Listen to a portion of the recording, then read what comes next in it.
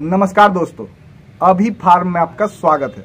दोस्तों, आप में से बहुत सारे जो फार्मर्स हैं, जिनके यहाँ घास की एबिलिटी कम है या फिर हरे पत्ते नहीं मिलते हैं, वो लोग कहते हैं कि, सर, साइलेज का इस्तेमाल कर सकते हैं, क्या, कहाँ मिलेगी, क्या कीमत है? ये वो बहुत सारे सवाल होते हैं साइलेज के ऊपर। तो देखिए, सबसे पहले मैं बता दूँ कि बकरी पालन कोई रॉकेट साइंस वाला काम तो है नहीं, ठीक है? और साइलेज भी कोई खराब चीज़ नहीं है, बहुत अच्छी चीज़ें है। ये विदेश में काफ़ी ज़्यादा मात्रा में इस्तेमाल होते हैं। बट इंडिया में ऐसा बहुत कम ही लोग हैं या फिर कोई बहुत ऐसा कम ही फार्मर है जो एक्चुअल में प्रॉपर तरीके से साइलेज बनाना जानते हैं। ठीक है? तो आपको तो पता नहीं है कि साइलेज होता कैसा है या फिर कैसा दिखता है। तो कोई भी कुछ भी उठा के आपको दे देगा और आप साइलेज लेकर आके अपना बकरी पालन स्टार्ट कर देंगे। तो इसमें आपको घाटे की संभावना है। तो जैसा कि मैंने आपको बताया कि बकरी पालन कोई रॉकेट साइंस का काम है नहीं। तो अगर आपको साइलेज मिलता है, अगर आपने मन बना लिया है तो साइलेज लाइए कहीं से भी खरीद के।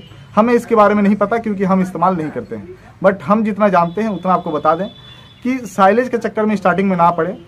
घास, हरा पत्ता, बिचाली, चोकर, भुस्सी, दाना और साथ में अगर आपको मिलता है तो आप बैलेंस फ़ीड बकरियों के लिए इस्तेमाल कीजिए। इसी से आपकी बकरी फार्म और आपकी बकरियाँ काफ़ी स्वस्थ और हेल्थी रहेंगी। आप अच्छा खासा मुनाफा कमा सकते हैं। वरना आप साइलेज ढूँढने के चक्कर में, घास की खेती करने के चक्कर में, आपका सारा टाइम और सारा नॉलेज उसी का पीछे वेस्ट हो जाएगा तो आप बकरी फ़ार्मिंग कब करोगे?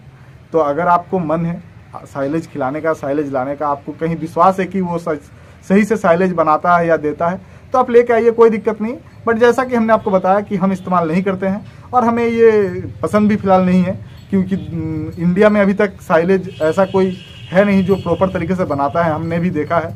तो साइलेज के चक्कर में ना पड़े, वरना आपका बहुत सारा पैसा और टाइम वेस्ट होगा।